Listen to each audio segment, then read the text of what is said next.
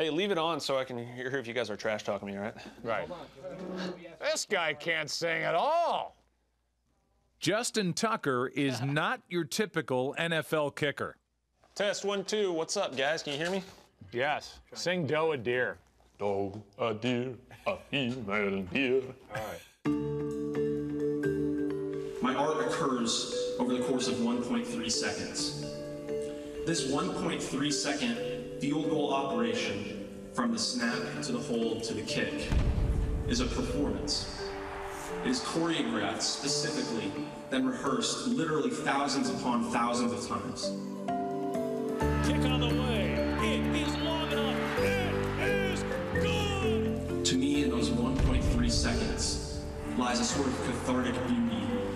Almost paradoxically, I become so engaged, so focused, that I lose myself in that moment, much like a musician who performs a piece that he has studied and rehearsed time and time again. Let's take it from the uh, from the tippy top there.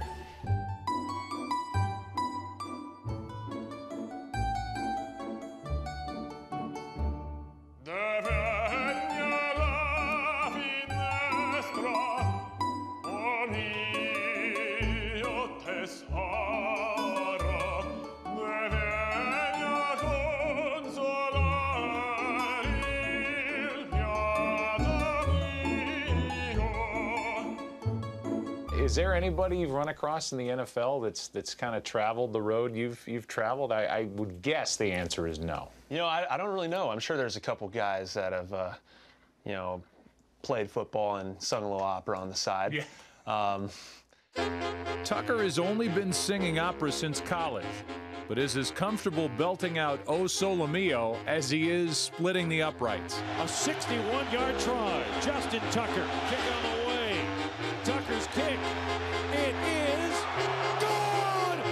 there's a sort of therapeutic thing that happens when, you know, I see a ball split the uprights. Same type of feeling I will get when I'm singing. You know, when I put on those headphones and everything just disappears for a minute, everybody's looking for their release or their outlet. And mine just happens to be, uh, you know, I'll come home and uh, I'll play a couple licks on the guitar or I'll, you know, sing in the shower.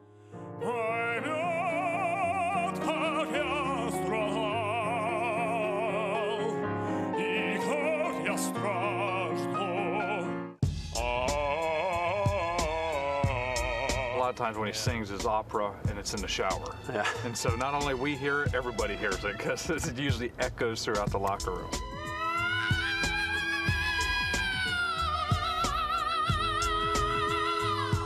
It's impressive. I don't know where it comes from. It comes from God, I guess. You know, it's way down deep inside. Uh, it's like this kid who kicks footballs, who's like kind of a silly, happy-go-lucky guy walking around a building. And next thing you know, he's belting out, you know. Uh, uh, I'd love to give you the name of some opera, but I don't have one, you know, at the tip of my tongue right here. At some point, you know, you're different than everybody else singing. Everybody trying to karaoke a U2 song, and then all of a sudden, you know, you, you can do it plus. How, how did you get involved in, in all this vocal stuff? part of my degree requirements was that I had to sing, uh, take voice lessons. I found out that it was something I really like to do, and it was a style of music I'd never really thought about before. I don't know if that makes me, you know, like a jack of all trades or a renaissance man or any label that I've heard before, but that's just kind of like what I like to do. You know, if I'm going to get involved in something, I'm going to, you know, really commit to it and have a good time with it. Tucker can perform opera in seven different languages, but his talents extend beyond music. Now, see, with your brains my good looks, kid, we can run this town. See? It's kind of like a diluted Jim Carrey. So, you know, he's very comical. I feel like I can hit y'all with a little the Ray Lewis, little Sugar, little Sugar the Ray. If we don't have each other, we have nothing else. Listen. Listen. Listen. I've been doing this for a long time.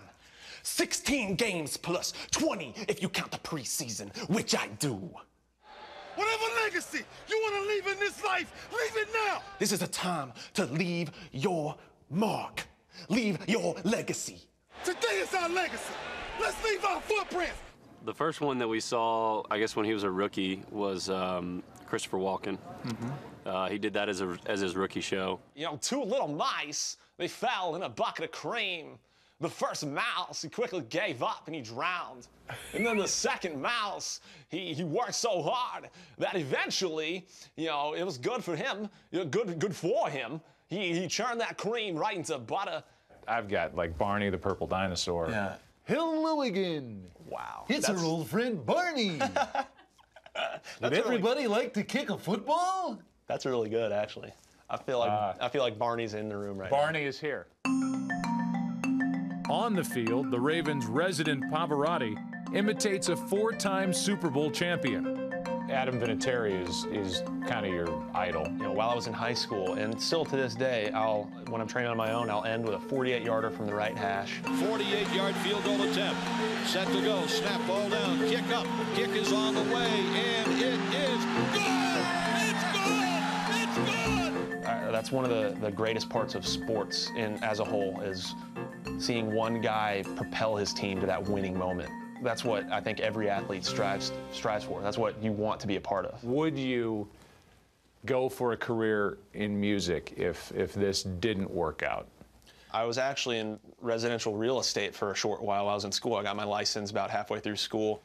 So I'd kind of like to combine a few different things, you know, performing arts, recording, real estate, close a deal just like, congratulations on your new house. Oh my God.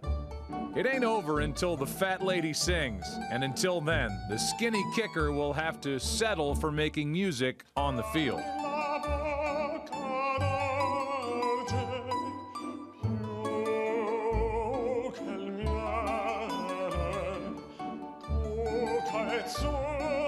For